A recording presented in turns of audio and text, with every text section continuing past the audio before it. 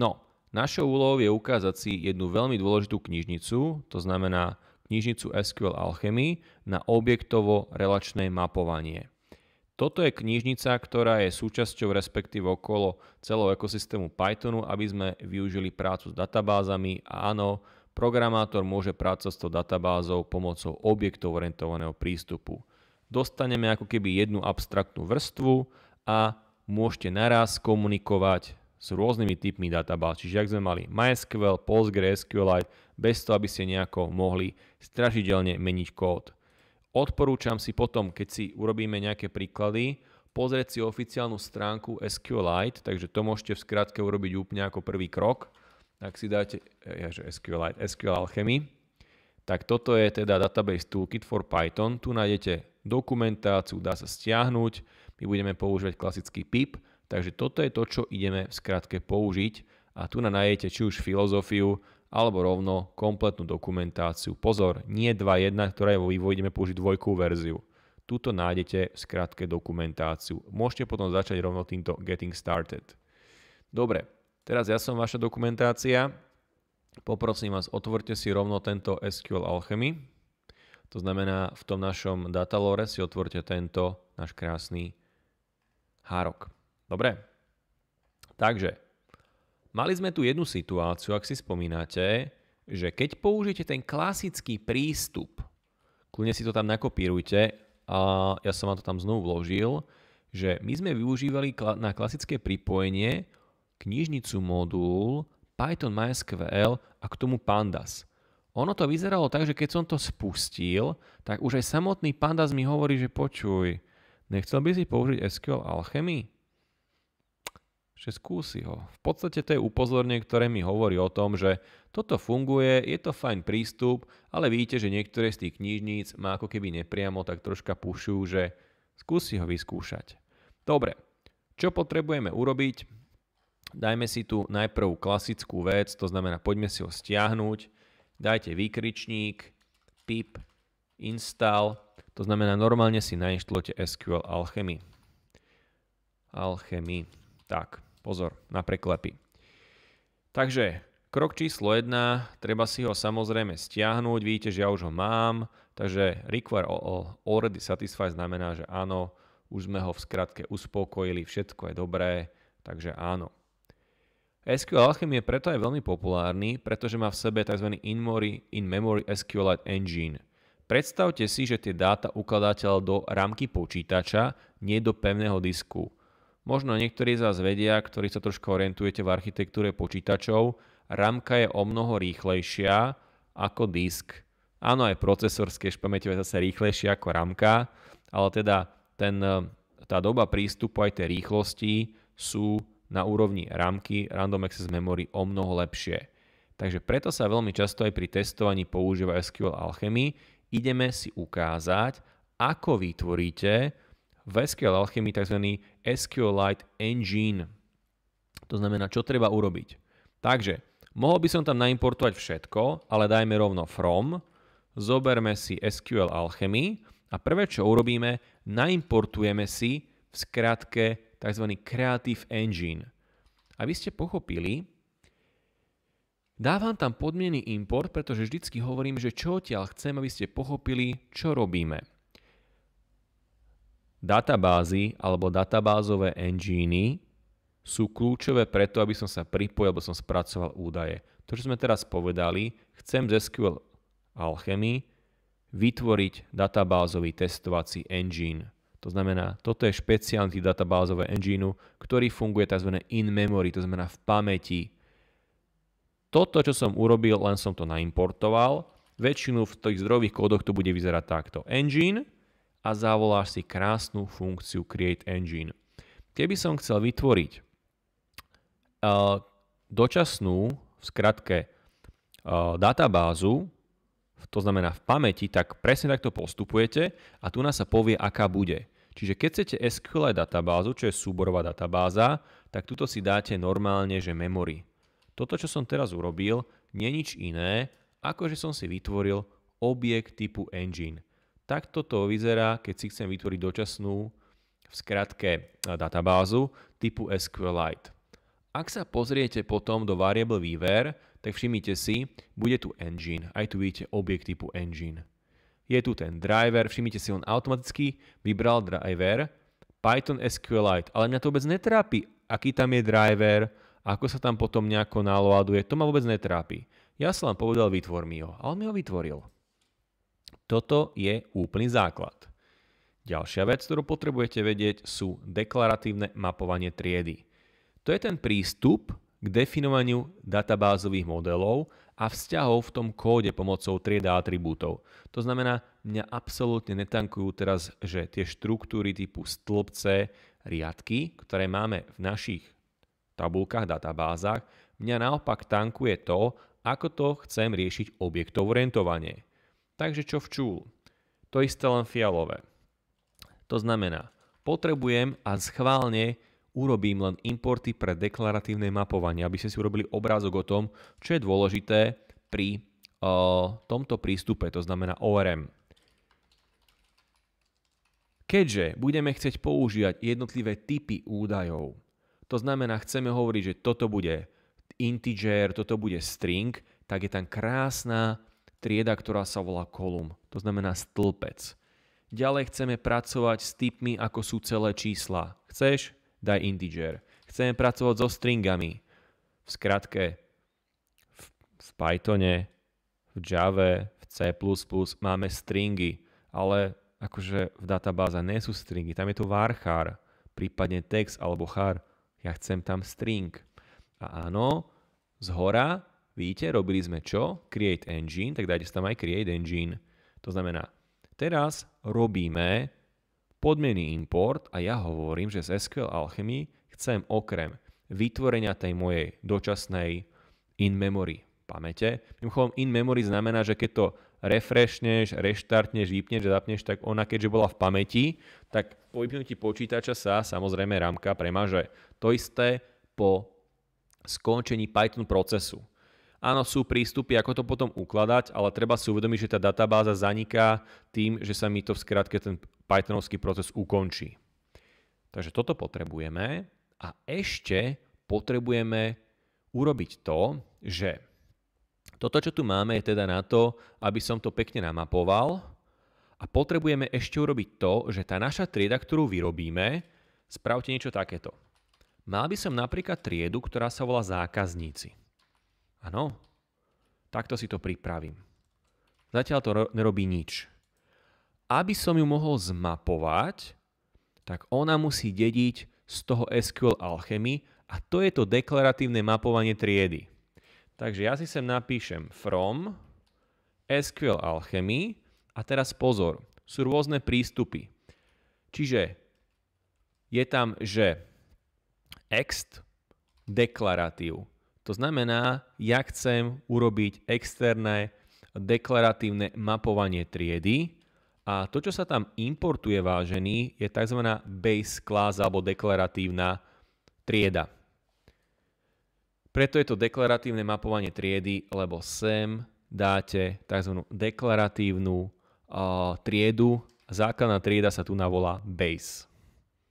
Áno, takto to za chvíľočku bude vyzerať, lenže na to, aby samozrejme ona existovala, tak si musíme vytvoriť tento objekt. Takže vytvorím si najprv tú deklaratívnu základnú triedu, takto sa vyrába, že base deklaratív base a tu je ten base. Čiže zopakujem to. Tieto dva riadky sú tu na to, že chceme si vytvoriť in-memory databázový engine v ramke, chceme pracovať so stĺpcami typu integer string a pripravil som si na to mapovanie túto deklaratívnu base klasu, respektíve tento modul, túto časť, pretože tu si vytvorím svoju prvú deklaratívnu triedu. Čiže vidíte, je tu zjavné dedenie. Teraz, Tuto vnútri sa využíva rovno najčastejšie zapúzdrenie, aby ste pomocou zapúzdrenia povedali, že ako sa tá tabulka bude volať. Čiže table name, názov tabulky, bude napríklad zákazníci. Tu na niektorí developeri tú triedu píšu zákazník a názov tabulky sú potom zákazníci. Ja mám väčšinou rád, že to je rovnaké. Ale vždy trieda veľké písmeno, názov tabulky malé písmeno. Ale to je všetko vec zvyku o programátorských technikách. Čiže ešte raz, len som povedal pomocou tohto objektovo-orientovaného prístupu, že takto sa bude volať tá tabulka. Takže to, čo sme urobili je, že táto trieda zákazníci, si tam dajte poznámku, táto trieda zákazníci, to, čo sa reálne udeje, že toto bude reprezentovať tabulku v databáze, ešte sme nepovedali v akej, len v tej in-memory, v databáze, áno. A tá tabulka v tej databáze sa bude volať zákazníci. Hej? Dobre. Samozrejme tá tabulka nechcem, aby bola prázdna, lebo to asi nemá význam, ale chcem, aby som doplnil v skratke atribúty. My sme na objektovo orientovaných tréningoch a kurzoch mali v skratke atribúty. Áno, vlastnosti. My sme tam nemali stĺpce. Hej, toto máte v databázach. Takže atribúty, alebo keď ste vlastnosti, takže aké? Povedzme, že by som tam chcel ID, lebo každý zákazník chce mať identifikátor. Ako si vytvorím nový stĺpec? Dáš rovná sa kolum, týmto povie, že toto bude mapovaný stĺpec a keď chceš povedať, že ten stĺpec bude integer, šup prvý typ, vidíte, kolum, tu je tzv. t, type, a tu ešte keď chceš, môžeš doplniť v skratke ďalšie vlastnosti. Čo je ďalšia vlastnosť? Napríklad môžem povedať, že to bude primárny kľúč. To sa robí tak, že hovoríš true. Týmto si povedal, prvý stĺpec sa bude volať ID, bude to celé číslo, bude to primárny kľúč. A zákazník bude mať meno. V poriadku, keďže chceme vytvoriť v tej tabulke stĺpec, hovorím objektov orientovanie buď stĺpec ako atribút, a buď string. A bude string. A môžem ísť ďalej. Chcem napríklad, ja jem priezvisko, vek a zase buď integer. Takže rovno som využil v skratke tieto dva naimportované, tieto dve naimportované klasy, tieto triedy, aj column, aj integer, aj string. Teraz, aby sme využili aj tento create engines, ten si môžeš skopírovať, keď chceš byť darebný, jak ja. Takže tu pod tým som si vyrobil engine na pripojenie k databáze. Všimnite si krásny objektovo-orientovaný prístup, ktorý používame. Takže ešte raz, toto, čo sme tu urobili na tomto riadku, je teda vytvorenie de facto databázy. Takto sa vytvára databázový engine, alebo teda engine na pripojenie k tej databáze. Dobre, teraz Potrebujem vytvoriť tie samostatné tabulky. Robí sa to tak, že zobere sa táto base klasa, ktorú som tu pripravil, tá deklaratívna. A teraz, tabulka aby bola vytvorená, tak každá tabulka, každý objekt má v reálnom svete aj tzv. metadata alebo metadata. To sú dáta o dátach. Takže zoberieme metadata a tu si zavoláš ešte jedna veľmi dôležitá vec, že tu na keď máte ten engine, tak si samozrejme dávajte pozor na nejaké preklepy, lebo ja som tu na si uvedomil, že mi tu chýba dvojbodka. Pozor na to. Vždycky treba dávať pozor na to, aký je ten reťazec ten na pripojenie. Takže tu si to prosím vás opravte, som si teraz všimol. To nájdete všetko v tej dokumentácii, takže to je to najmenej.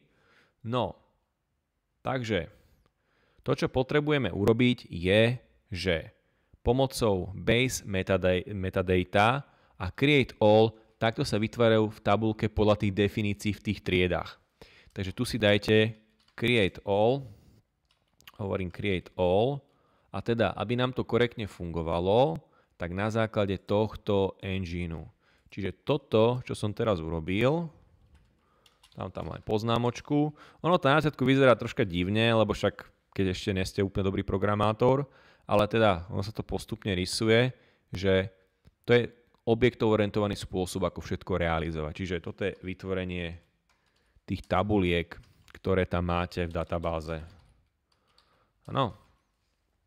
Podľa definícií v tej triede. Podľa definícií v triede, v triedách. Takže takto si tu žijeme. Gratulujem. Toto je len warning. Toto je len upozornenie. On vám len hovorí, že môžete v skratke používať aj tu na v skratke iný, inú funkciu, iný modul, to je v poriadku, kľudne si to takto majte, toto v funguje, to v poriadku. Kľudne sa to celé skopírujte dajte to pod to. A tu na, kde ste použili tento ext, tak ono samozrejme bežne prichádza k tomu, že um, robia inovácie, aktualizácie tých zmien, takže keď chcete, môžete tam dať normálne, že išlo o to deklaráty, aby ste pochopili. Kľudne si tam dajte takto, že SQL Alchemy ORM, už to budete mať bez warningu. To bolo len warning upozornenie. Takže takto krásne to, čo sme zatiaľ urobili, je, že vytvoril som si triedu zákazníci, v ktorých budú takéto atribúty, takéto de facto stĺpce, vytvoril som si v skratke engine a pripojenie k databáze, vytvoril som si tie príslušné tabulky. To je to, čo sme urobili.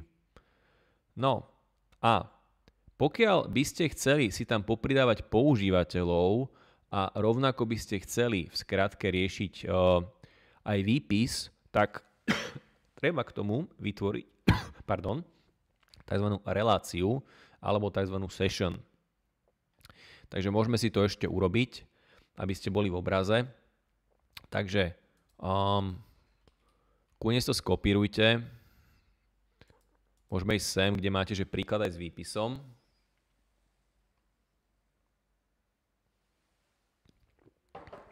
Alebo viete čo, dávam troška iný príklad podstate robím to isté, čo predtým.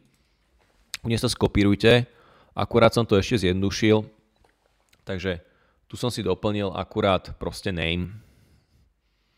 Sú tu používateľia, pali sme zákazníci, teraz tu používateľia, je to to isté. Pozor, tu na je ešte jeden space. Takže len som to skrátil, aby to bolo kratšie, aby sme už to bolo, tak troška presluhujeme.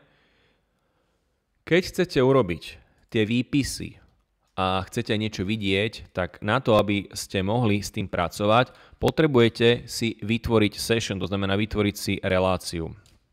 Takže vytvoriť session, to je úplne bežný pojem, relácia, aj pri spracovaní údajov, pri databázach, pri web stránkach. Takže začína sa tým, že sa vytvorí objekt typu session a session, alebo teda relácie sa vyrábajú pomocou, je to celkom vtipné, session maker sa to volá um, session maker a vy poviete tomu session makerovi, že nabinduj sa podľa toho engineu, to znamená podľa tej mojej in-memory databázy. To znamená, chceme začať používať tú moju in-memory databázu, tak mi k tomu vytvor session.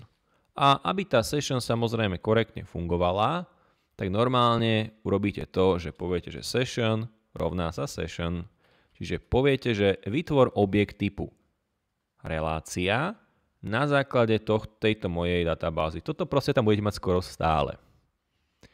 No a teraz to najposlednejšie, čo potrebujeme. Pridáme tam nového používateľa, lebo my máme triedu, ale predsa chceme fungovať objektov orientovane. Takže môžeme si to pekne nazvať, že používateľ nový, alebo nový klient, čo tam máte. A to už je orientovaná paradigma. Stále zoberete názov klasy aký? Používateľia. A teraz, keď sa pozrieme, na to, aby som vyrobil používateľa, potrebujem čo? IDčko, jeho meno, po prípade, ak máte zhora ten príklad, tak aj jeho vek. Takže keď ste použili teraz tento istý, tak poďme na to. Jeho IDčko bude napríklad 1.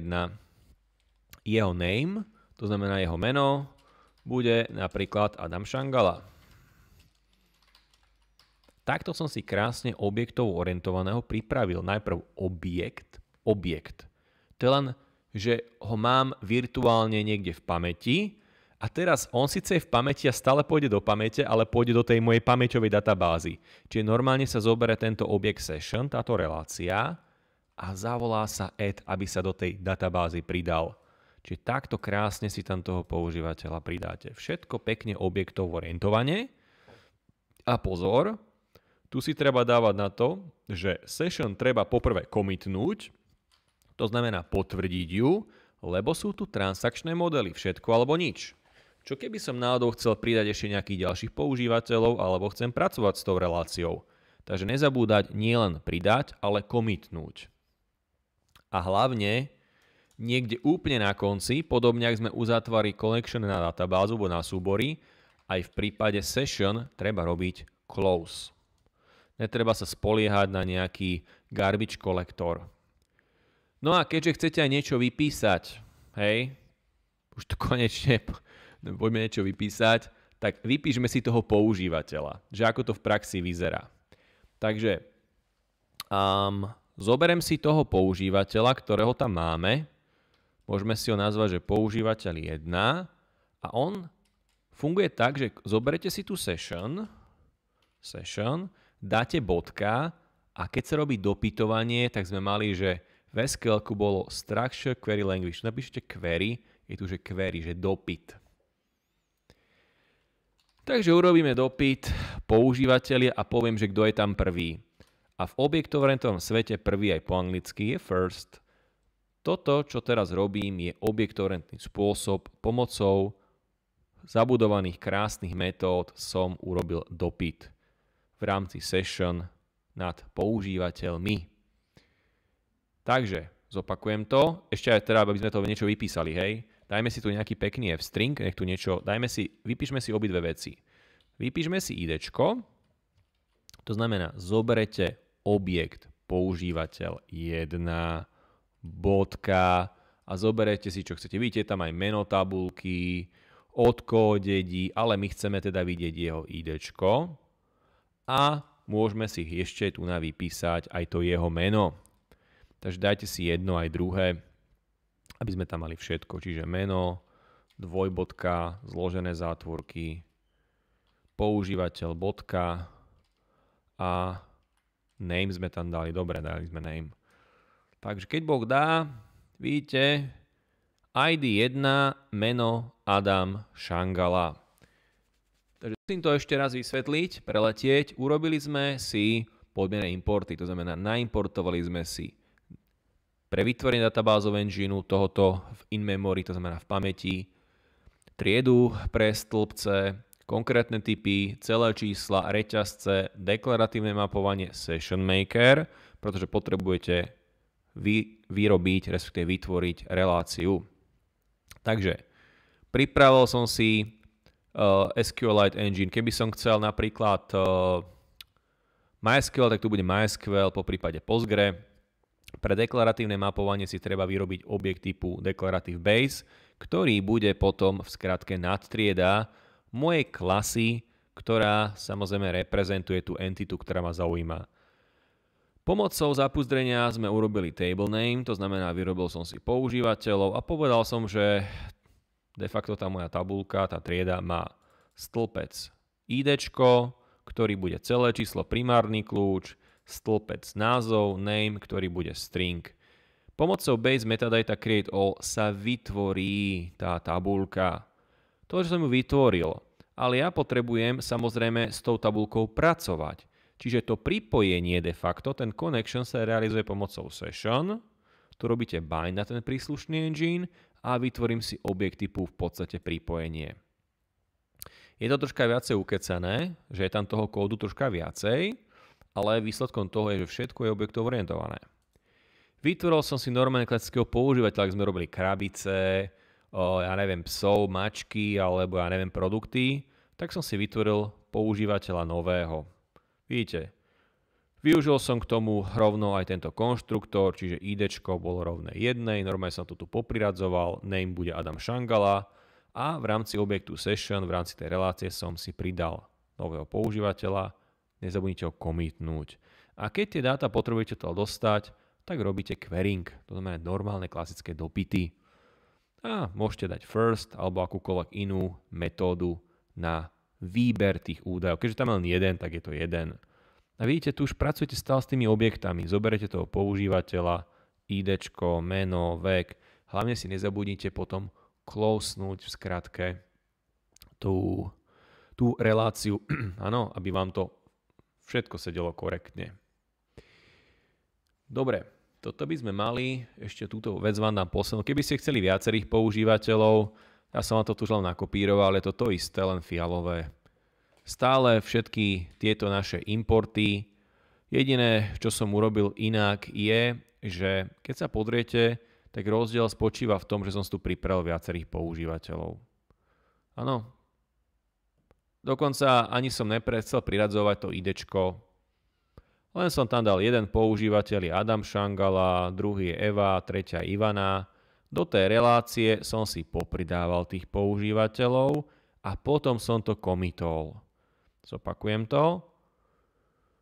Keď vytvoríš session tú reláciu, za tým si najčastejšie vytvoríš objekty pre príslušných používateľov, všetkých proste nasúkáš do tej relácie, potom to komitneš, potom to potvrdíš. Ak máš komity aj v, re- v nejakých databázach, v nejakých verzovacích nástrojoch, tu je commit potvrdený. Aj v databáze mimochodom je commit.